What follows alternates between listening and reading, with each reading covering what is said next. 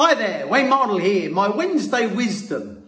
It's about practice, but it's not about what to practice. It's about the length of practice.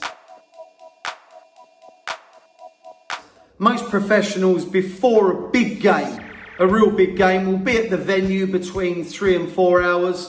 They won't play, they won't practice for three or four hours.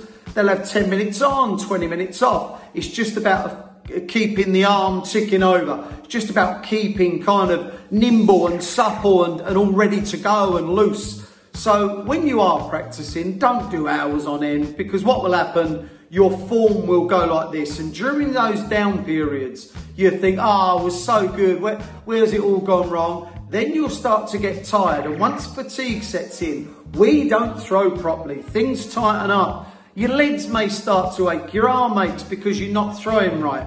So do you know what? Keep it short and sharp. Do half hour, then, then have a, a little 10 minute break. Make yourself a nice corned beef and red onion sandwich on a bit of sourdough bread. That's what I'd recommend.